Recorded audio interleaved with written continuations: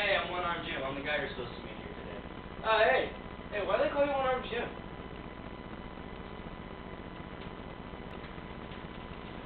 What?